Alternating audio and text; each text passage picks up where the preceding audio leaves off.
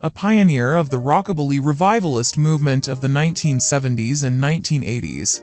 I Tuesday in New York City at the age of 75, Gordon's record label Cleopatra Records confirmed the musician's death to Variety, without providing a cause of death. Robert Gordon, a rockabilly devotee and singer whose band The Tuff Darts was a staple of New York City's CBGB and Max's Kansas City punk scene of the 1970s, died today. He was 75. His death was announced by his record label, Cleopatra Records on Facebook.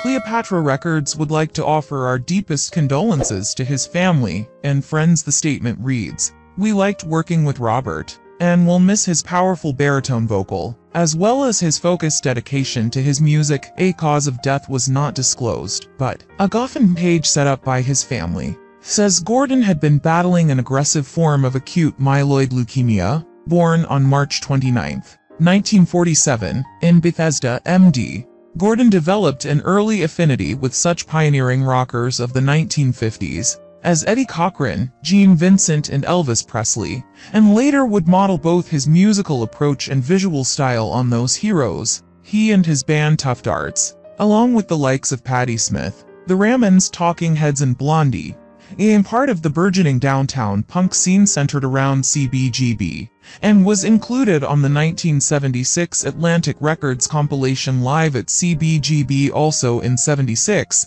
Gordon appeared in director Amos Poe's punk film Unmade Beds, as did Blondie's Debbie Harry. Among other downtown stalwarts, Gordon left Tuff Darts before the band's eponymous debut album briefly dented the Billboard 200 chart. Gordon teamed up with the great Rumble Rock guitarist Link Wray in the late 1970s, and their 1978 album Fresh Fish Special included an early recording of Bruce Springsteen's song Fire, with Springsteen himself on keyboards. Red Hot a single from their first LP. Robert Gordon with Link Wray, peaked at number 83 on the Hot 100. Gordon's next three solo albums, Rockbilly Boogie, 1979, Bad Boy, 1980, and Are You Gonna Be the One, 1981, album charted, with the latter spawning the single Someday, Someway, which peaked at number 76 in the 1980s and 90s Gordon often performed with guitarists Danny Gatton and Chris Spedding Gordon and Spedding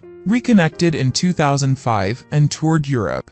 Their upcoming album Hellafied will be released by Cleopatra on November 25th. In addition to Unmade Beds, Gordon appeared in and produced the soundtrack for 1981's The Loveless, starring Willem Dafoe, and directed by Kathryn Bigelow and Monty Montgomery.